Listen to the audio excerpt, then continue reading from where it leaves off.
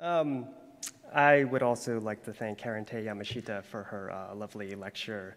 Um, I think it's very appropriate. But that the treasure in question may not have been that of Yamashita, a technicality which has been enough to maintain a steady stream of would-be Indiana Joneses. and success. Leeching off of the late actor's notability, some actors, including Tadashi Yamashita, Wong King Lung, and Benchley, I have the honor today of sitting next to Professor Samuel Yamashita of the History Department.